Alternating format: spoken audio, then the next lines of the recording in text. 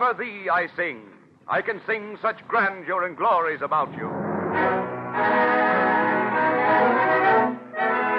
I sing America, the prairie grass dividing, demanding the spiritual corresponding of men, demanding the blades to rise of words, acts, beings.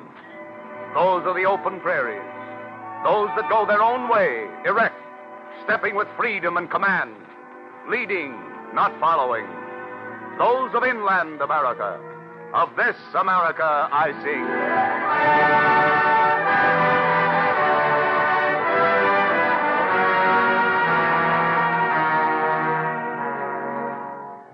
From the prairies of our nation, from the Illinois farmlands, came Abraham Lincoln and Stephen A. Douglas, two men across whose lives fell the shadows of disunion.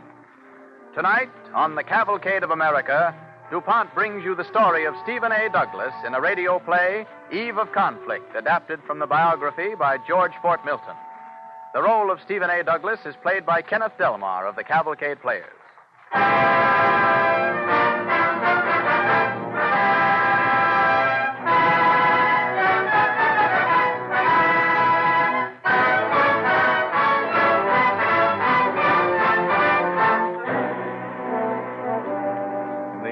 1940 in Springfield, Illinois, Mary Todd, a young lady from Kentucky, is visiting at the home of her brother in law, Ninian Edwards.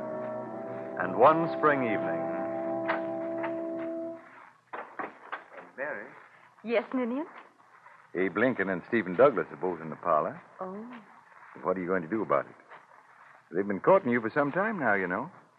Mr. Douglas is a clever man, isn't he, Ninian? Douglas is a very smart lawyer, Mary. And Mr. Lincoln? Well, not exactly clever. No. Not like Mr. Douglas at all. Mary, Yes, Ninian. when are you going to make up your mind? Oh, I've already made it up. Good. Well, I, I'm glad to see you're sensible, Mary. After all, I suppose it isn't difficult to choose between Douglas and Lincoln. Ninian, Huh? I want to marry. I want to marry a man who's going to be president someday. Oh, so that's it. Well, Stephen Douglas has had his eye on the White House all along. I hope you're right, Mary. I know I'm right, Ninian.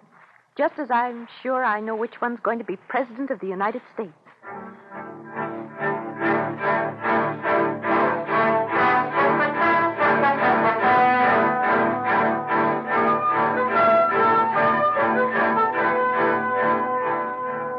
Fourteen years pass. Fourteen years, and at the end of them, Mary Todd, Abraham Lincoln, and Stephen Douglas are no longer young. For the nation, it is 14 years of compromise, distrust, and fear. In the America of 1854, secession is imminent. And to a United States Senate rent asunder in sectional conflict goes a new senator from Illinois, Stephen A. Douglas. Then, one day in Washington, Well, well, Senator Douglas, howdy. Howdy, Jim. Sit down. Sit down. Thanks, thanks.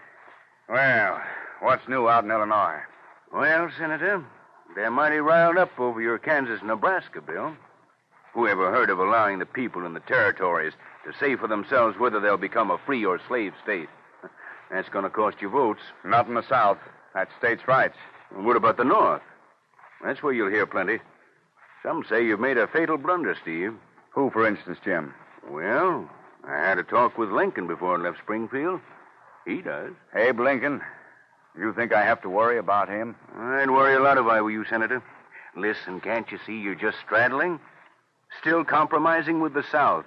And the North is looking for someone who'll come out flat footed against slavery. And, well, it might as well be you, Senator Douglas. Yeah, and split the Democratic Party and split the Union wide open? No, my friend. My Kansas Nebraska bill will save the Union. I'm right about this, Jim. I'm leaving for Illinois in a few days to prove it. Come along, you'll see I'm right.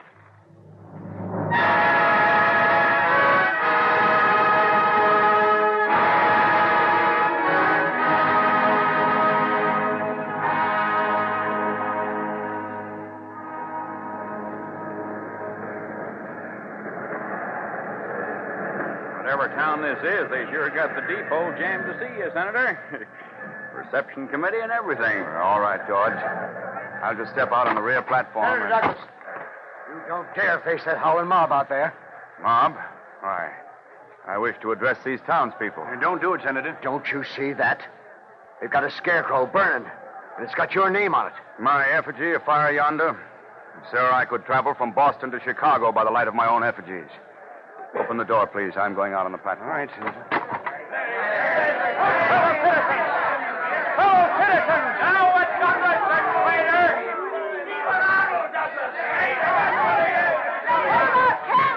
What about Kansas, ma'am? Why, Kansas may have slavery if she wants it, but it will never be forced upon her. That is popular sovereignty, fellow citizens. That is free government. It's slave government. I do not care, ma'am, whether Kansas votes slavery up or votes it down. It's not for us in the North to say whether slavery is a blessing or a curse. Senator Douglas, you're a Judas. And there are your 30 pieces of silver. Madam, I... Please, please, come back in the car. This is All right, George. Perhaps I'd better open the door for the senator. Well, see what I mean, Senator? That's what they think of you and your Kansas Nebraska bill in the North. Jim, I know that bill is right. I'll stand by it no matter what the consequences. But if it's right, sir, what about slavery? Slavery's a curse, George. Both black and white. Someday we'll stop it off. A curse, but you just said Yes, how- I know. I know. Privately, I can admit it's a curse, my boy, but not publicly. And all I say is, it's a good thing you aren't up for re-election to the Senate in Illinois this year. And as for the presidency... Now, this fight involves more than my office, Jim. More than my fame. The Union itself is the issue. I will not violate the Constitution to abolish slavery. I will not split the Union. The only power that can destroy slavery is the sword. Once that is drawn, no one can see the end.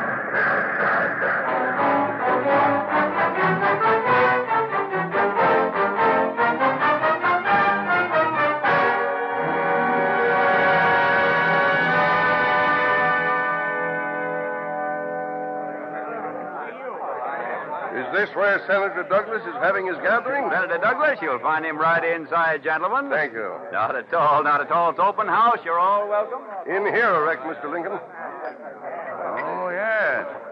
There he is. I'm glad to see you, sir. Well, I came to Springfield just to shake hands with you, Senator Douglas. Well, I'm glad to shake hands with you, sir. Well, surprised to see you here in Springfield, Mr. Lincoln.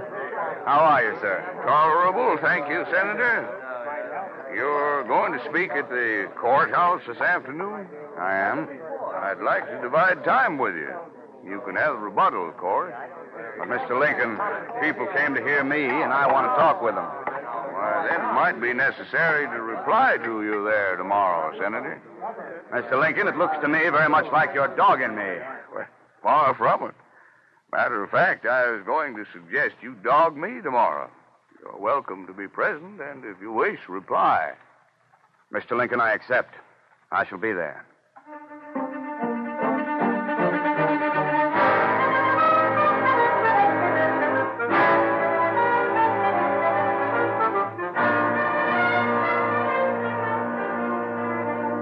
You are listening to the DuPont Cavalcade of America presenting Eve of Conflict, the story of Stephen A. Douglas, adapted from the biography by George Fort Milton and starring Kenneth Delmar as Stephen A. Douglas. The Cavalcade of America is brought to you by DuPont, maker of better things for better living through chemistry.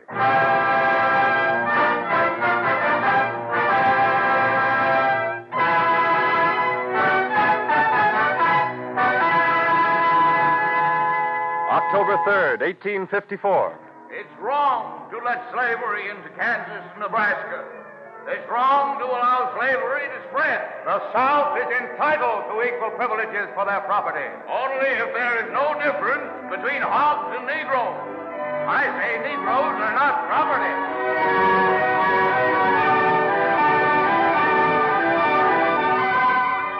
October 6th. The integrity of the Union is worth more to humanity than the whole black race. Forget the Negro is human. Slavery is a great moral wrong. Convict slavery as a sin, and you alienate the South. The end will be disunion.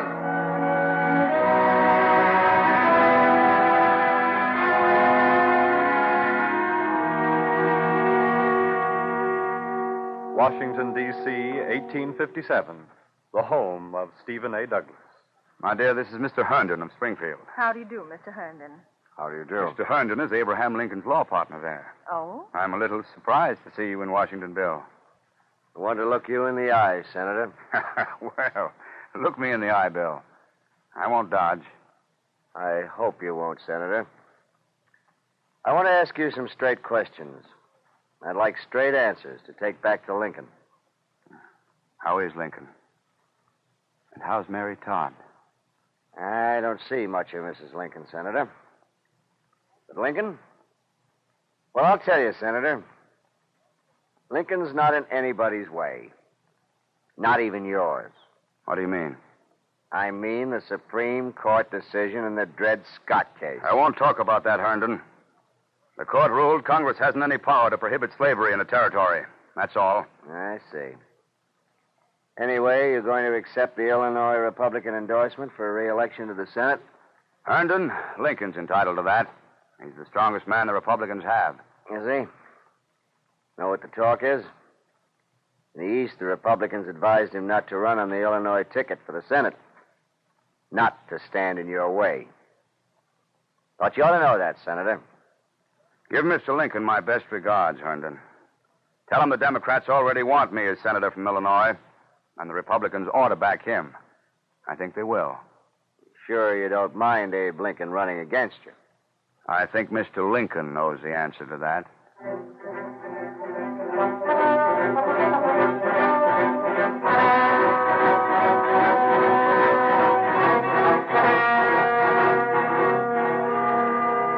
In this campaign for the office of United States Senator from Illinois, the issue between Senator Douglas and myself is clear.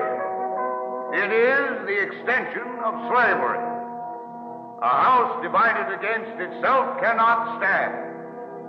I believe this government cannot endure half slave and half free. I do not expect the Union to be dissolved.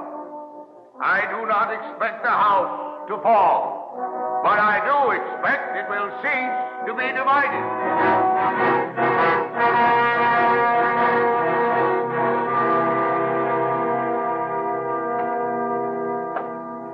Adele, What is it, Stephen? I have a letter from Abe Lincoln. Wants to divide time with me during the present canvass and address the same audiences. Well, isn't it the usual custom to meet your opponent in debate? Yes, but that isn't it. Suppose Lincoln brings up the Supreme Court and the Dred Scott decision. I don't want to argue with him about that, and that's just what Lincoln hopes I'll have to do. But isn't there some question whether the Supreme Court was right? My dear, I can never admit the Supreme Court is wrong. Can't admit it's right either. For if neither Congress nor a territorial legislature can prohibit slavery, where's the right for the people themselves to prohibit it, as I have always held? Their right is gone, and my reelection with it. You've gotten yourself into a dreadful muddle, Stephen. Lincoln knows he has everything to gain and I everything to lose by these debates. The country has me measured, whereas he's almost unknown outside the state. But for me, this senatorial election of 1858 is a preliminary to the presidential campaign of 1860. If I lose now, I won't even be considered for the presidency then. What if Mr. Lincoln has his eye on 1860? Oh, Lincoln president? Why, that's ridiculous, my dear. He hasn't a chance. It seems to me, Stephen, you must meet him.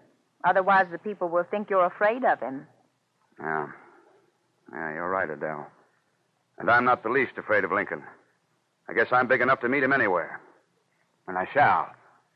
Yes, let's see. Ottawa, Galesburg, Quincy, Freeport, Alton, Jonesboro, and Charleston.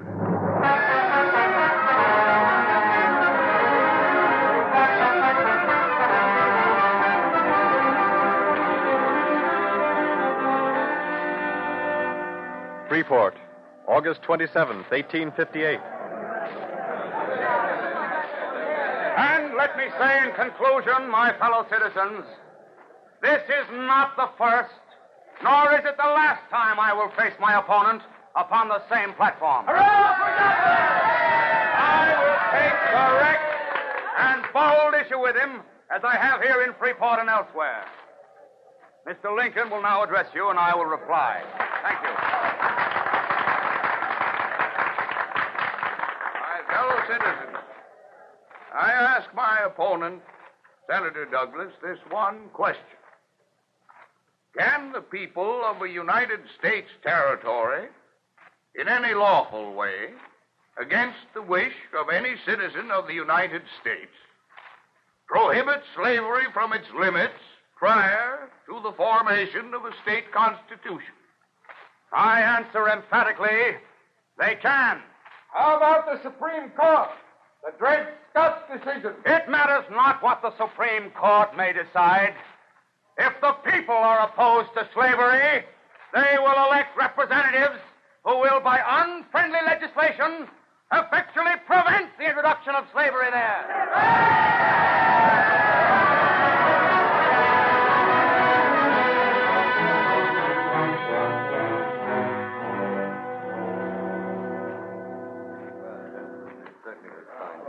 Congratulations, Senator. Congratulations, Senator. I really want Thank you, friends.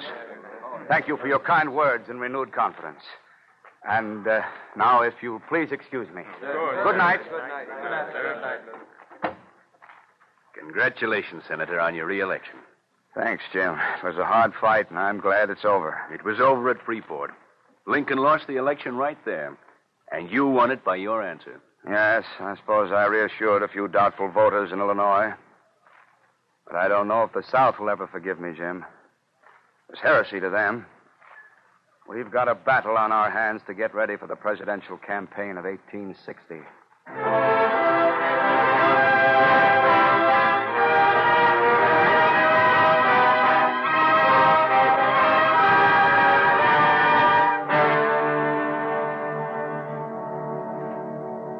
Chicago, May 19th, 1860. The Republican National Convention.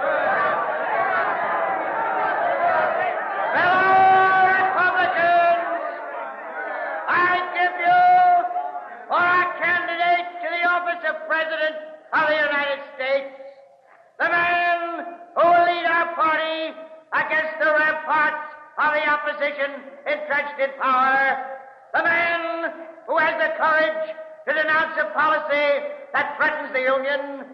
I give you that man who will lead us to victory, Abraham Lincoln of Springfield, Illinois.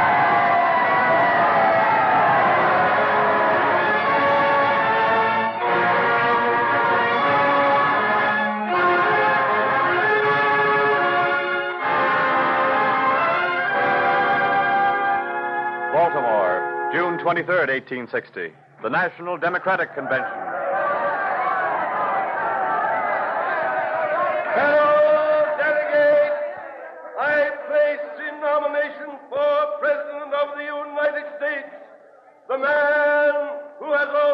Met his Republican opponent and defeated him for the senatorship of Illinois. I give you the little giant, Stephen A. Douglas.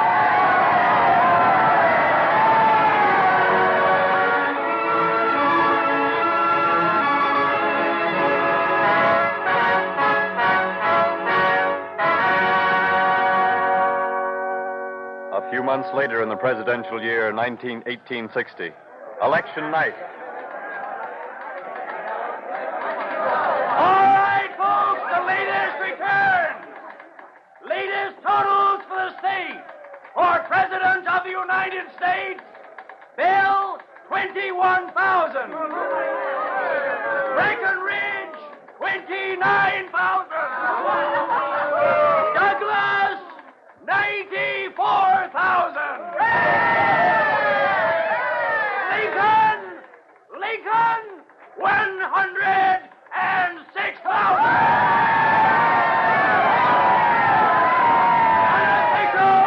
National returns indicate the election of Abraham Lincoln.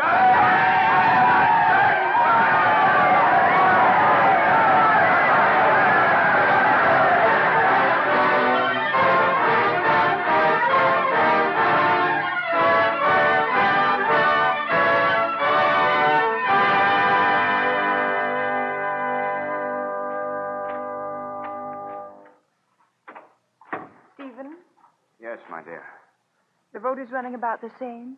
I conceded Lincoln's election about midnight. Oh, Stephen. I guess I might as well have conceded it two years ago at Freeport. You see, Lincoln knew what he was doing, realized he'd lose the election of 1858. But Lincoln knew the presidential election of 1860 was worth a hundred of that Illinois contest. Still, Stephen, it was a splendid retreat, and I'm proud. Prouder of you than if you'd won now by doing otherwise. I don't know, my dear. I hardly know what to think.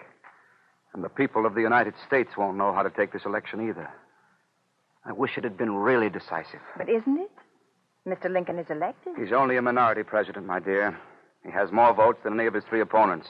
But together we have more than Lincoln.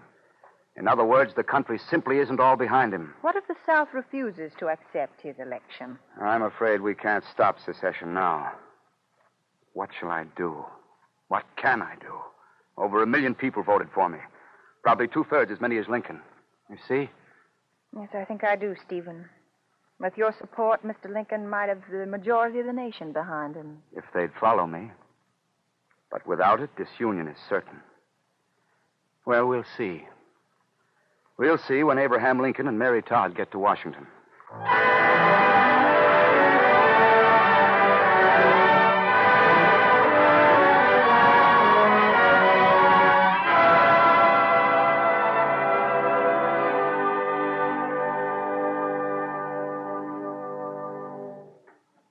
It was thoughtful of you and Mrs. Douglas to call on us, Stephen.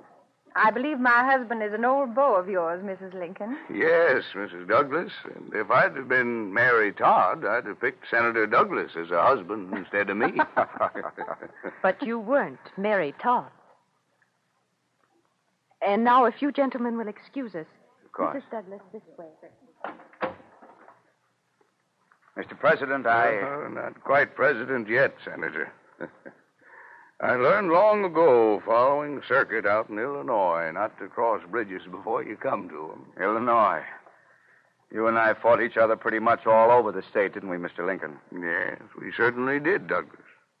Mr. Lincoln, I've heard rumors of trouble at the inaugural. I'd like to stand behind you on the platform. Well, it won't be the first time we've shared platforms, Douglas. No. But this time, if any man attacks you, he attacks me, too. I want there to be no question in any mind of where I stand. However much we've fought, we've never differed, have we? In our devotion and attachment to the Constitution and the Union. No, we haven't. I guess we always took that for granted. I'm on the side of the Union, sir. And I pledge you all my aid, all my strength, and all my energy in whatever course you take to save it.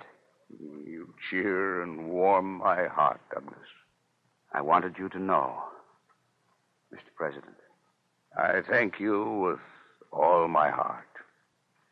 The people with us and God helping us all will yet be well. God bless you, Douglas.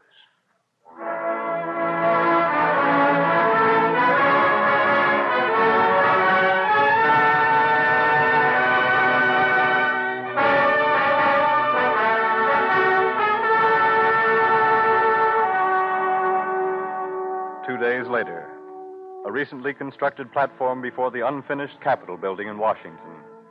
There sits Stephen A. Douglas. Before him, facing the inaugural throng, stands the tall, gaunt figure of Abraham Lincoln. The gusty March wind is chilly that day in 1861, and not all in the crowd can hear the words of the president elect. But there is one close by him who does, one who understands them, one who might have held the office of president himself but who now holds only the stovepipe hat of Abraham Lincoln. Stephen A. Douglas, the little giant. We are not enemies, but friends. We must not be enemies. Though passion may have strained, it must not break our bonds of affection. The mystic chords of memory stretching from every battlefield and patriot grave to every living heart and hearthstone all over this broad land, will yet swell the chorus of union when again touched, as surely they will be, by the better angels of our nation.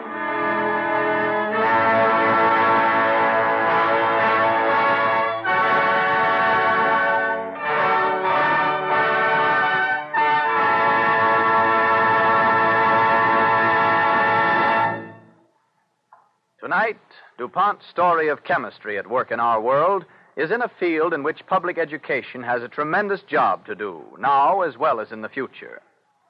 It is a fact, and a shocking fact, that only one American in three owns a toothbrush.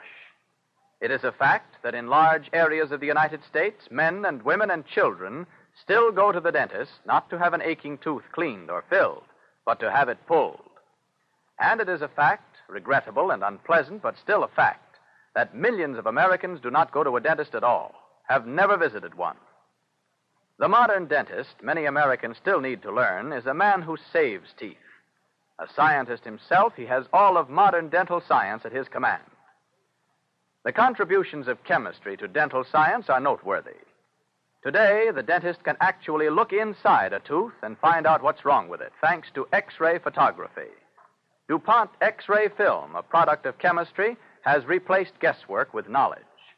And when treatment becomes necessary, we no longer need to suffer pain. Gas and other safe, effective anesthetics are available. Those, too, are contributions of chemistry.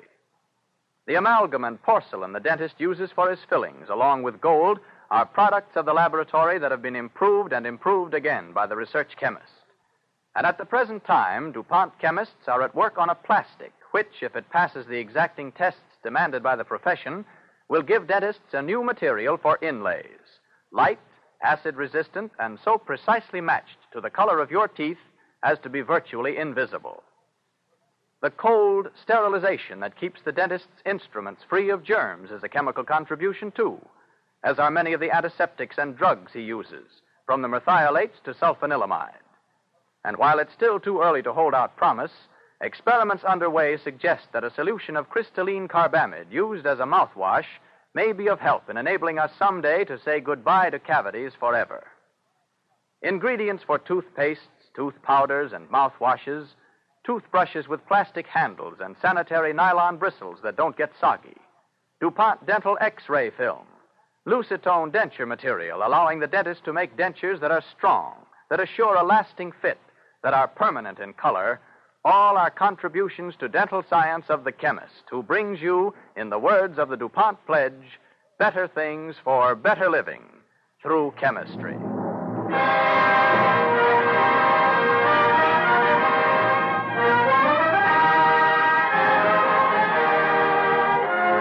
Next week, the Cavalcade of America presents Jeanette Nolan in a romantic play about the Indian maiden whose name was Sacagawea. Her simple faith in the great American explorer William Clark forms a beautiful and touching story that has enriched the legendary lore of our country. In our story of chemistry at work in our world, we will tell you about cellophane cellulose film and how it safeguards and preserves the food supply of the nation. We hope you'll join us at the same time next week when DuPont again presents the Cavalcade of America. Our play was written by Garrett Porter and was adapted from Eve of Conflict, the biography of Stephen A. Douglas by George Fort Milton, published by Houghton Mifflin. The orchestra and the original musical score were under the direction of Don Voorhees. On the Cavalcade of America, your announcer is Clayton Collyer, sending best wishes from DuPont.